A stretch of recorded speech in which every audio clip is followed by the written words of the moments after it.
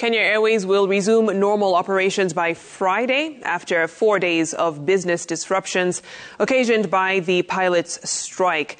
The announcement by the airline came a day after the Employment and Labor Relations Court ordered pilots to resume work, declaring their strike illegal. At the Jomo Kenyatta International Airport terminus, business was slow. The Kenya Airways tent erected to cater to ticketing needs for the stranded passengers had few who came to confirm the details of their flights.